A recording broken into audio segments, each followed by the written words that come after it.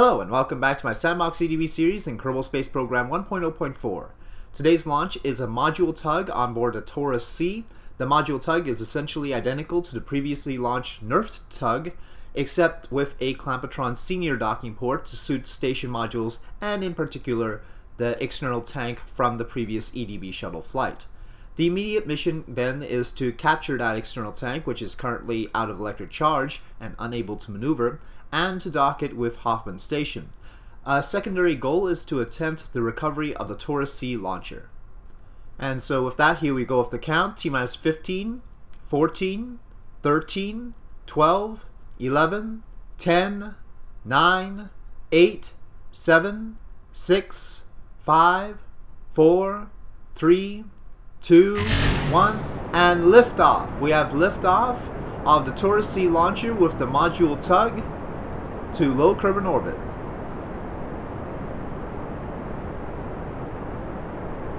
A brilliant view of the launcher as it ascends with the VAB in the background, the moon hanging above the, the mountain range to the west here.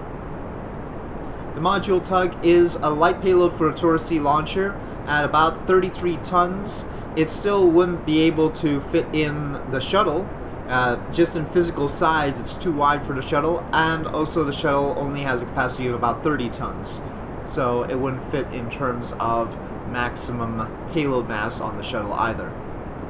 Launch is proceeding nominally as we pass 10 kilometers here.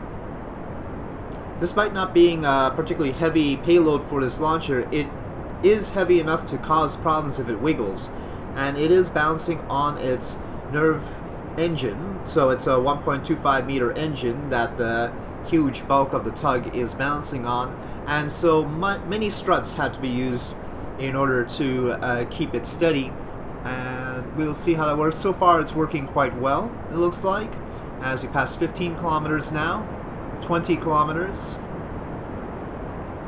looks like 22 kilometers downrange. The Rhino has been used all the way through ascent in order to provide the necessary thrust-weight ratio to get this to altitude as quickly as possible so that all the engines are running with their desired efficiency. But now at 30 kilometers the mainsails are off and it is just the Rhino operating and we have fairing separation and you can see the payload there the module tug bouncing on that very slim engine with the senior docking port on top. Now, mounting it the other way around would have been an option, but the EDB wanted to test whether this sort of strutting could keep the payload balanced and keep the payload safe. Here we see there are some wiggling problems, and, and not necessarily with the payload. It seems like the launcher itself seems to be a little bit askew. It tends to want to go to one side, and so that's an issue that the EDB will have to have to figure out. Uh, it does tend to want to deviate, and that's probably not due to the payload per se. We'll see how that works out on the way down as the Taurus C uh, re-enters and attempts recovery. It is nearly a continuous burn to orbit for this launcher, and we'll see that eventually, but here what we see is some of the orientation issues. You'll note that the, the Vernor thrusters on the launcher are active as well as the RCS thrusters on the payload, also helping to orient the huge bulk of this vehicle. The gimbling on the Rhino does not seem to be adequate, nor the SAS modules on each of the mainsail pods. You can see extreme gimbling there to keep it steady. And here you see it making its apoapsis of about 100 kilometers, and you can see it already has a substantial periapsis all on a single burn. So that was one continuous burn all the way up to get to 100 by 50. So it still needs to do a burn at apoapsis to fully make orbit. And so that is what it is aiming for here. Lots of thruster firing in order to turn this huge vehicle. As you will see here, the Taurus C brought the payload to 102 by 101 kilometer orbit. Uh, sufficiently circular orbit, though further maneuvers would have to be arranged in order for the module tug to meet up with the external tank from the shuttle. Here we see solar panel extension on the module tug And we'll have separation in a moment here.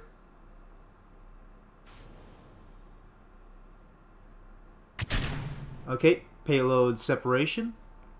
And switching to the module tug, the nuclear engine is active. And a little burst of thrust moves it away from the Taurus C. Its lights are on, and it's on its way. The Taurus C now maneuvers in order to return back to the KSC, hopefully, though at least as close as possible. The EDB is still working on its trajectory for return. Uh, the first attempt was quite a ways off. Hopefully this time it will be a little bit closer. The periapsis chosen this time was 22.5 kilometers. Here the thruster is firing again with the brakes out as it begins to enter the atmosphere. 22.5 kilometers will probably be short of the KSC. The EDB is trying to establish a certain range uh, to work with and the hope is this time the Taurus C will end up on land and we will see how it balances there as it uh, now is below 55 kilometers in altitude with some heating starting up here approaching 50 kilometers in altitude. That's 50 now below 45 kilometers in altitude quite a sight in the Kerbin sky there.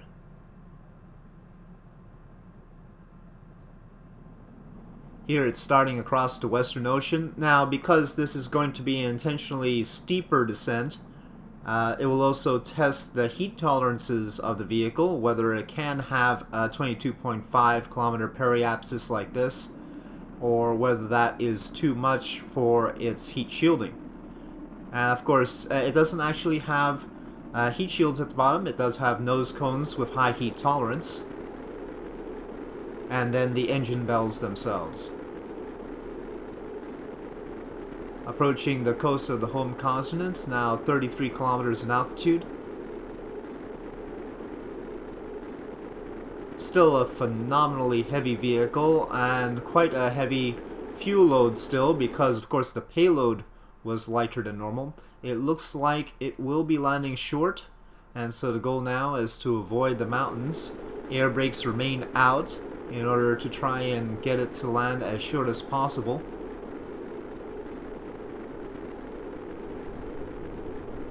And that's quite a trajectory as it uh, descends below 15 kilometers. Vernor thrusters firing mightily in order to keep its orientation. Does not seem to have the deviation it had on ascent.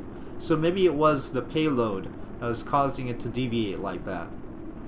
Uh, that will have to be taken up in review. Now below 12 kilometers and the forces on it have diminished. It looks like it has survived the heating. And now just attempting to see if it can land safely. Getting ready for parachute deployment here. That is some rough ground down there. Okay, drogue chute deployment. Drogue chute deployment successful. Seven kilometers. First volley of main parachutes deployed successfully.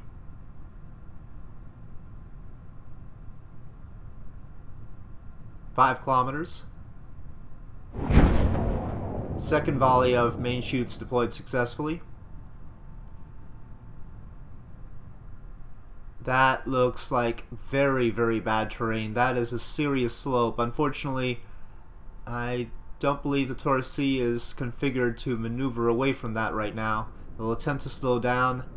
Uh, SAS should be on. Uh, if there's any chance. It, it, could have moved a little bit further to the right in our camera view. Looks like a flatter spot, but uh, that was not done. And SAS is still not on. Now SAS is on, but it's far too late. I don't know if SAS could have held it. Uh, probably doubtful. And it's a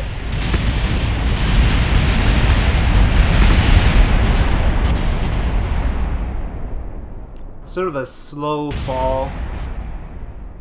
A giant getting wrecked Still lots of pieces. The EDB will attempt to, of course, recover those pieces. But certainly not the recovery that the that the agency was hoping for. Yet another disappointment with the Taurus series of launchers, but perhaps on flat ground it would have been successful. So we'll look forward to that at a later date.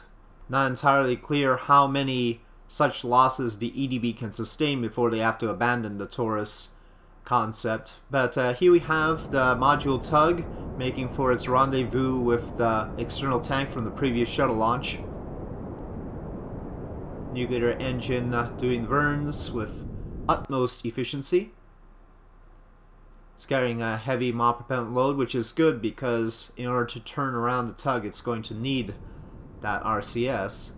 After a mild plane change and then the second adjustment, it got to rendezvous of about one kilometer. And here it is matching velocities with the external tank from ETS-8, as you can see there. The external tank is quite enormous, as you can see there. It'll look even more striking as it approaches the station, hopefully this time successfully. Here the module tug is lining up with the docking port on the external tank. Very cautiously. After all, there is no control over the external tank, and so any knock on it will start it spinning and that would be an unfortunate situation. Here we go, within one meter. And it is docked. So the tug has captured the external tank and will now attempt to maneuver it towards Hoffman Station, where it will be docked on the opposite side from the Orion 1 spaceliner. This is the view as it matches velocities with the station. Really, the tug and the external tank make for an interesting spacecraft in their own right, and perhaps in the future, this sort of combination will be used for interplanetary missions, being refueled by mining apparatus on the Lunar Minmus, for instance. And so that is a plan that I expect the EDB will have in the works. Here we have the approach to the station on the nighttime side of Kerbin. And that's that's an interesting look at the relative size of the thing, though it's somewhat distorted by the fact that the camera is focused on the external tank and the tug. But this is a large piece of the puzzle. The station's lights were on full as the external tank and tug made their approach. Thankfully, the external tank and tug were already on the correct side of the station and more or less lined up, so there wasn't any need to do any fancy maneuvering, which would have been very cumbersome. I should note that the fuel from the tug was shifted into the external tank in order to shift the center of mass for balance to help the thrusters make sure that they aren't adding any unnecessary torque. They were still adding some unnecessary torque, but uh, it helped out a little bit. As we see here, uh, that, that's a good view of the comparative size of the things. So the Orion 1 spaceplane is still larger than the external tank, but uh, it's a formidable addition to the station itself. 33 meters now. We have been this close before. The previous attempt to attach an external tank to the station has gotten this close. So there is no relief from mission control right now. Tensions are still high. 25 meters now. Slightly off on the alignment. Constant adjustments being made with the thrusters. Within 20 meters. The lights on the station now making the whole assembly look like a glowing white. the sun rising in the background, the module lined up with the docking port for its final move forward. Still trying to make minor adjustments as you can see. The Vernors were quite overpowered at points, giving a little bit more velocity than was strictly necessary at this point, but they were very helpful while making larger changes to trajectory. Just a little bit off, slightly to the right from that view.